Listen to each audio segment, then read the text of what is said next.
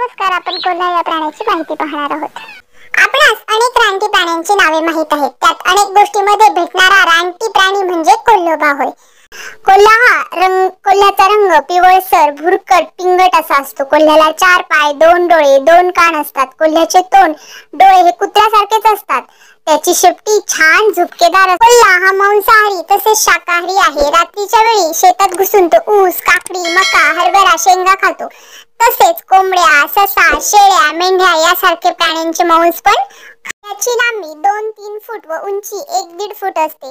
हा प्राणी वेगवेगळ्या रंगांचाही असतो. याचे कान नेहमी उभे असतात. कोल्ह्याची वयोमर्यादा किमान अकरा ते बारा वर्ष असते. कुई कुई असा आवाज काढतो. त्याला कोल्हे कुई असे म्हणतात. एका कोल्ह्याने आवाज काढला तर त्याच्या मागोमाग सगळे कोल्हे ओरडतात.